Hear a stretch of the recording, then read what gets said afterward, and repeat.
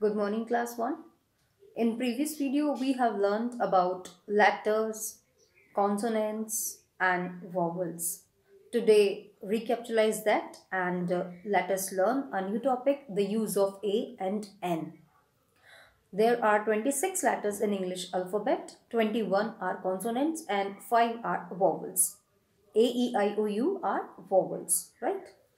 अब हम सीखते हैं use of a and an ए को कहाँ पर लगाते हैं? We use a before the naming words starting with consonant sound जो भी आपके नेमिंग वर्ड्स की स्पेलिंग और उनका साउंड जब हम बोलते हैं तो वो कॉन्सोनेंट साउंड अगर है तो वी यूज़ अ हम लोग बोलते हैं जैसे a boy a girl a teen a table a doll a gas stove, a book a computer right क्योंकि ये B for ball C for computer या सी फॉर कैट ये सारी चीज़ें कॉन्सोनेंट्स होते हैं।